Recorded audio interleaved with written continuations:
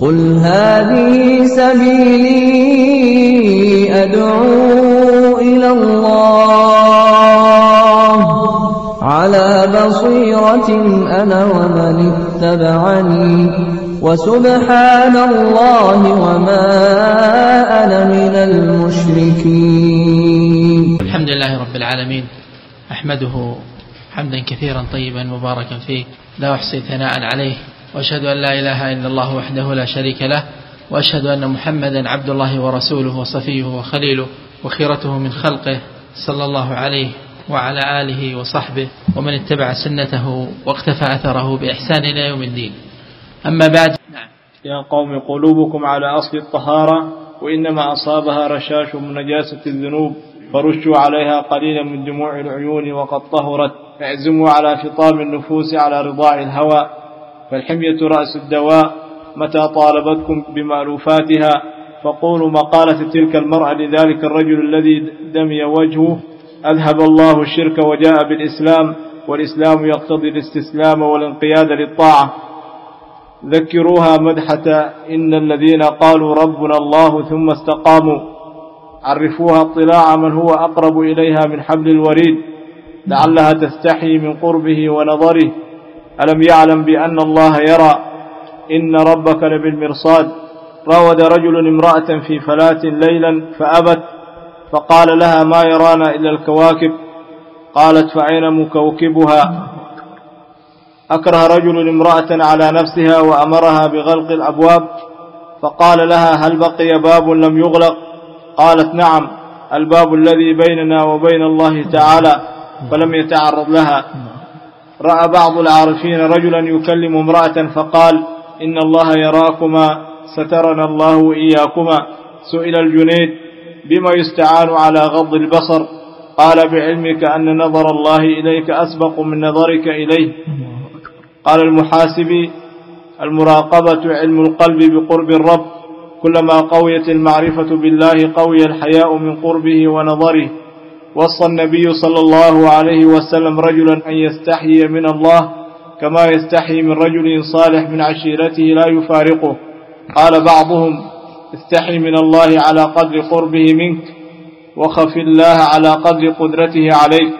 كان بعضهم يقول لي منذ أربعين سنة ما خطوت لغير الله ولا نظرت إلى شيء أستحسنه حياء من الله عز وجل.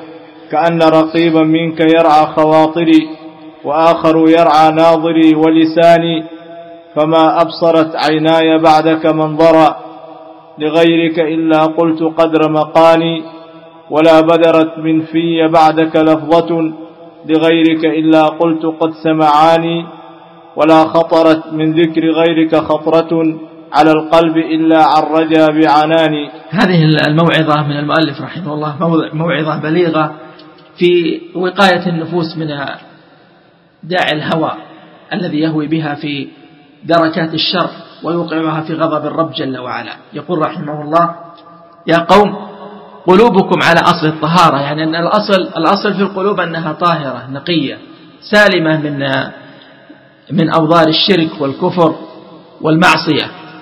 وإنما أصابها رشاش من نجاسة الذنوب فرشوا عليها قليلا. من دموع العيون وقد طهرت. والمقصود لا الدموع التي قد تسكب من العين إنما المقصود حقيقة ذلك وهو الندم على ما كان من السيئات والخطايا. أن يصدق الإنسان في ندمه وتحسره على ما كان من تقصير في حق الله جل وعلا.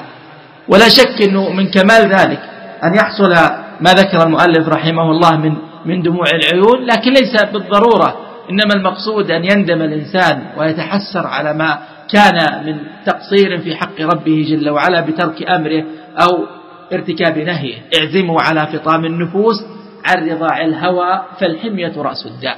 يعني كل إنسان يقي نفسه وقوع المعصية بالبعد عنها لا شك أن هذا أكمل له من أن يقع فيها ثم ويتلطخ بأوضارها ثم يطلب تطهير ذلك بالتوبة.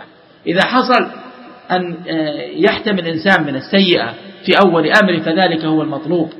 ثم إذا وقع وغلبته نفسه أو هواه أو الشيطان أو ضعف فأخطأ فعليه أن يستعتب وأن يرجع إلى الله تعالى.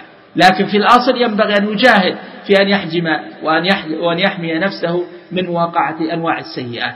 اعزموا على فطام النفوس على عن رضاع الهوى فالحمية رأس الداء. إذا أول ما يعينك على فطام نفسك أن تعلم أن الحمية رأس الداء. الوقاية خير من العلاج. كونك تقي نفسك المعاصي وغضب الله جل وعلا بطاعته هذا خير من أن تتلطخ بأسباب المؤاخذة والذنب ثم تقول أتوب وأستغفر. متى طلبتكم بمألوفاتها فقولوا مقالة تلك المرأة لذلك الرجل الذي دمي وجهه بسبب همه بالمعصية أذهب الله الشرك وجاء بالإسلام. تذكر هذه المنة والمنحة التي من الله تعالى بها عليك وهي أن جعلك من عباده المسلمين. هذه المنحة العظيمة التي قال الله تعالى فمن يرد الله أن يهديه يشرح صدره للإسلام. تذكر هذه المنحة والمنة التي اصطفاك الله وحباك بها. ينبغي لك أن تحقق شكرها بالتزامها. ولذلك يقول المؤلف رحمه الله اذكر مقالة هذه المرأة أذهب الله الشرك وما يتعلق به من المعاصي والسيئات وجاء بالإسلام والإسلام يقتضي الاستسلام والانقياد للطاعة. هذا مذكر. يقول ذكروها مدحة إن الذين قالوا ربنا الله ثم استقاموا. تتنزل عليهم الملائكة. ألا تخافوا ولا تحزنوا وأبشروا بالجنة التي كنتم توعدون. نحن أولياؤكم في الحياة الدنيا وفي الآخرة. هذا فضل ومنا من الله تعالى. لا تتحقق إلا لمن ذكر الله جل وعلا. قالوا بألسنتهم وبقلوبهم. ألا إن الذين قالوا ربنا الله ثم استقاموا تتنزل عليهم الملائكة. هم جمعوا بين سلامة الاعتقاد القلبي والقول اللساني وسلامة الاعتقاد بالعمل. استقاموا والاستقامة هي أن يلزم الإنسان الجادة أن يسدد ويقارب ما استطاع أن يكون على أمر الله وأمر رسوله طاقته وجهده وأن يجاهد في سلوك سبيله. عرفوها اطلاع من هو أقرب إليها من حبل الوريد. أي عرفوا هذه النفس من هو أقرب إليها من حبل الوريد وهو اطلاع الرب جل وعلا والملائكة الذين أرصدهم الله تعالى يكتبون عليك ما يكون من العلم. قبل ذلك علم الله الذي قال ألم يعلم بأن الله يرى؟ يستخفون من الناس ولا يستخفون من الله وهو معهم إذ يبيتون ما لا يرضى من القول. استحضر هذه الآيات وتذكرها فإنها تعينك على الانزجار والانكفاف عن المعاصي والسيئات. ثم اذكر أن هناك من هو مرصد بك قائم على رصد عملك لا يخفى عنه شيء من عملك دقيقا كان أو جليلا. قال الله تعالى إن كل نفس لما عليها حافظ كل نفس عليها من يحفظ أعمالها. كراما كاتبين يعلمون ما تفعلون. فينبغي للإنسان أن يجل هؤلاء أن يكتبوا عليه شيئا ويشهدون عليه بشيء يسوءه يوم القيامة. وقد قال الله جل وعلا في كتابه إنا كنا نستنسخ ما كنتم تعملون. نستنسخ وهذا يدل على تمام العناية في في الرصد والكتاب. استنساخ كما أنك تستنسخ الكتاب فتحرص أن لا يفوتك حرف ولا نقطة من نقط الحروف فكذلك هؤلاء يستنسخون علي وعليك كل ما يكون منا فاحرص أن يكون المنسوخ شيئا. تبيض به وجهك فإنه لا يغادر صغيرة ولا كبيرة إلا أحصاها. وهذا الكتاب يوم القيامة لن يكون في من عنك بل هو في أضعف نقطة في بدنك وكل إنسان ألزمناه طائره في عنقه. طائره هو سجل عملك في عنقك أضعف ما يكون من مواطنك. ولذلك أنت الآن يعني إذا ربطت دابة تربطها من عنقها لأن إذا ربطتها من عنقك قادت لك بخلاف ما لو ربطتها من قدمها أو من يدها تتعسر في سيره بخلاف العنق. وهذا هو السر في كون الكتاب يكون في العنق لأنه لا ينفك منه الإنسان. ذكر شواهد لاستحضار رؤية الله تعالى وشهادته وعلمه بما يكون من العبد وكل هذه الشواهد لا شك أنها تحيي في قلب المؤمن تعظيم الله تعالى وإجلاله أن يقع في معصية. وشتان بين من يكون واقع في المعصية وهو يرقب الله جل وعلا ويخشى مؤاخذته وبين من هو فرح نهم يريد أن يستكثر من هذه المعصية ويبلغ بها أوجى آه، لذته. لا شك أن هناك فرق بين العاصين أنفسهم فكيف بين من ينزجر عن المعصية خشية الله تعالى؟ لا شك هذا على درجة وأكمل منزلة عند رب العالمين. والكلمات التي ذكرها كلمات مباركة نافعة والخلاصة ما ذكره المحاسبي المراقبة علم القلب بقرب الرب.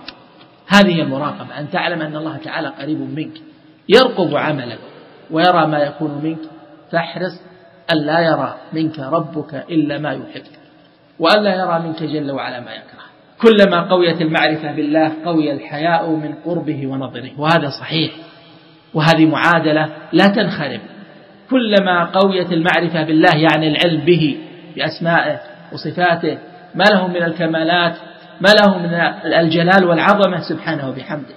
إذا كمل علمك بالله جل وعلا فإنه يقوى حياؤك أن يراك فيما لا يحب. أو يراك تأخرت فيما ندبك إليه. قوي الحياء من قربه ونظره. ثم ذكر آه، وصية النبي صلى الله عليه وسلم آه، رجلا أن يستحي من الله كما يستحي من رجل صالح من عشيرته لا يفارقه. وهذا الحديث مروي من طريق آه، أبي الخير مرثد عن سعيد بن يزيد الأنصاري أنه سمع النبي صلى الله عليه وسلم يقول لرجل لما طلبه الوصية قال أوصني فقال النبي صلى الله عليه وسلم أوصيك أن تستحي من الله كما تستحي من الرجل الصالح من قومك. وهذا الحديث في إسناده شيء من الضعف فإن راويه مختلف في صحبته. قال بعضهم استحي من الله على قدر قربه منك وخف على قدر قدرته عليك. ولا شك أن الله جل وعلا آه، يعلم آه، السر وأخفى وأنه جل وعلا على كل شيء قدير وهذا يحمل العبد على تمام.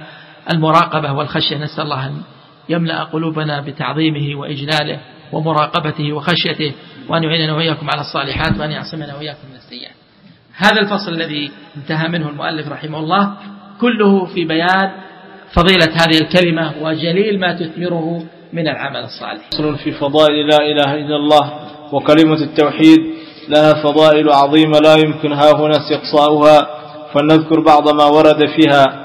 هي كلمة التقوى كما قال عمر رضي الله عنه من الصحابة وهي كلمة الإخلاص وشهادة الحق ودعوة الحق وبراءة من الشرك ونجاة هذا الأمر ولأجلها خلق الخلق كما قال تعالى وما خلقت الجن والإنس إلا ليعبدون ولأجلها أرسلت الرسل وأنزلت الكتب كما قال تعالى وما أرسلنا من قبلك من رسول إلا نوحي إليه أنه لا إله إلا أنا فاعبدون.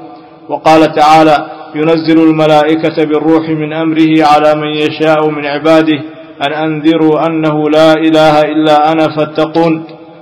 وما عدد الله على عباده من النعم في سورة آية النعم التي تسمى النحل. ولهذا قال ابن عيينة ما أنعم الله على عبد من العباد نعمة أعظم من أن عرفهم لا إله إلا الله وإن لا إله إلا الله لأهل الجنة كالماء البارد لأهل الدنيا. ولأجلها أعدت دار الثواب ودار العقاب ولأجلها أمرت الرسل بالجهاد. فمن قالها عصم ماله ودمه ومن أباها فماله ودمه هدر. وهي مفتاح الجنة ومفتاح دعوة الرسل وبها كلم الله موسى كفاحا.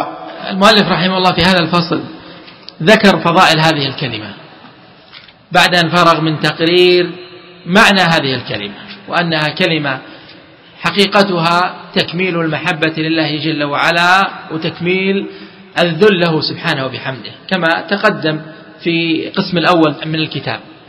والمؤلف رحمه الله بنى هذا الكتاب على قسمين القسم الأول بيان ما ورد من أعظم فضائل هذه الكلمة. وبماذا تتحقق هذه الفضائل؟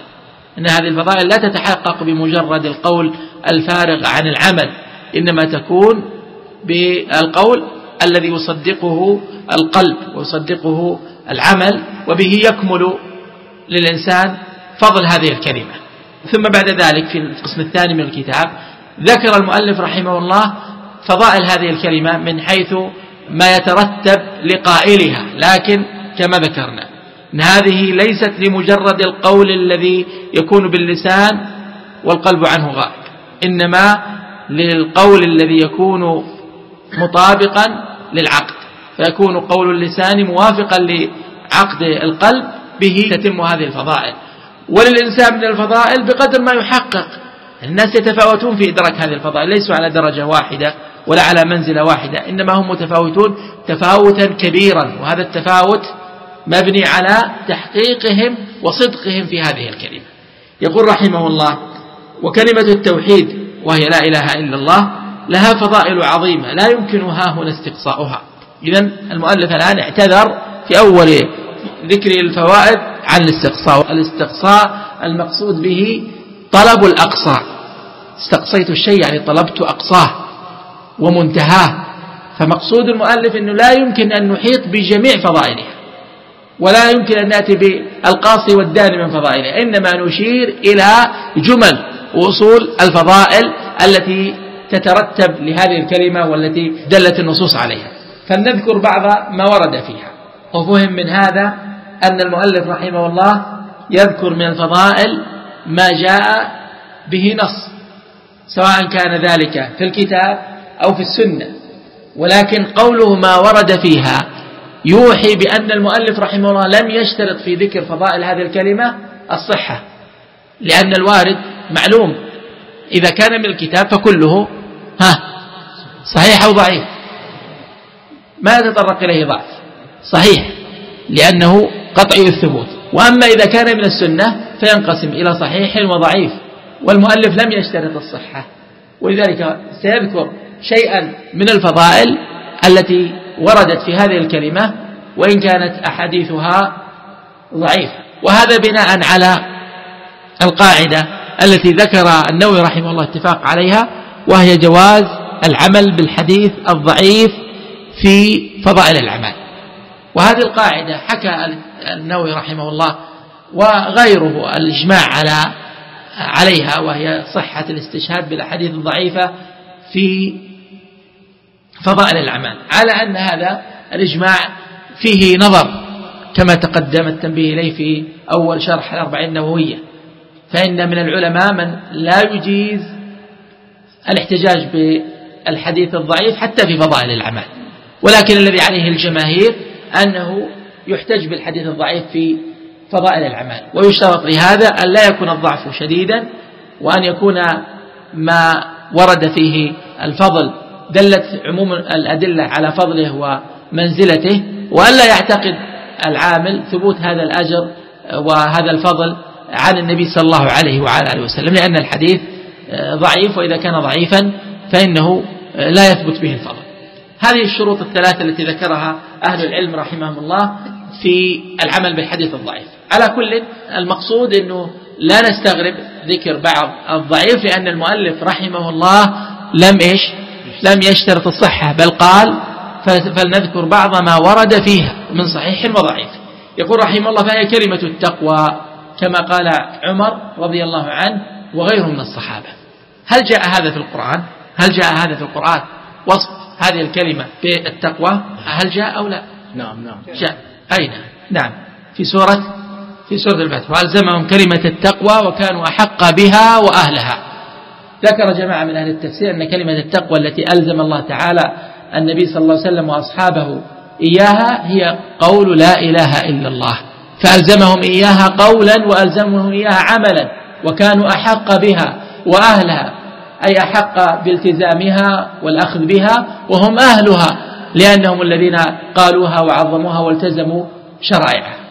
فقوله رحمه الله كما قال عمر رضي الله عنه وغيره من الصحابة هذا إضافة إلى ما ذكره أهل العلم في تفسير هذه في تفسير قوله تعالى وألزمهم كلمة التقوى وكانوا أحق بها وأهلها. وهي كلمة الإخلاص. كلمة الإخلاص وهذا مأخوذ من معنى هذه الكلمة. من معنى هذه الكلمة. فإن هذه الكلمة بناؤها على الإخلاص لأنها جاءت بالنفي والإثبات بنفي الإلهية عما سوى الله جل وعلا وإثباتها له وحده لا شريك له. ولذلك لا إله إلا الله بناء هذه الكلمة على نفي وإثبات النفي في قوله لا إله والإثبات في قوله إلا الله. ولذلك كانت كلمة الإخلاص لأن الكلمة التي بها يحصل للعبد الإخلاص لله تعالى في هذا الأصل العظيم الذي به سعادة الدنيا ونجاة الآخرة وهو الألوهية إفراد الله تعالى بالألوهية وأنه لا إله إلا هو سبحانه وبحمده. في القرآن فيه وصف هذه الكلمة بالإخلاص؟ لا لم يأتي في, القرآن وصف هذه الكلمة بالإخلاص لكن هذا مستفاد من معناها. المعاني لا شك وما أمروا إلا ليعبدوا الله مخلصين له الدين. نعم قل الله أعبد مخلصا له ديني وأمرت أن أكون من المسلمين وما إلى ذلك من الآيات التي فيها إثبات الإفراد إفراد العبادة له جل وعلا وإخلاصها وفيه إخلاصها له سبحانه وبحمده. وشهادة الحق ودعوة الحق كل هذه أوصاف لهذه الكلمة. قد لا يكون أتت بها نصوص خاصة في وصف هذه الكلمة بذلك لكن هي شهادة الحق. من شهد بها فقد شهد بالحق. شهد الله أنه لا إله إلا هو والملائكة وأولو العلم قائما بالقسط. فهذه الشهادة شهادة حق لأن الله شهد بها شهد بها ملائكته وشهد بها رسله. نقف على هذا والله تعالى أعلم وصلى الله وسلم على نبينا محمد.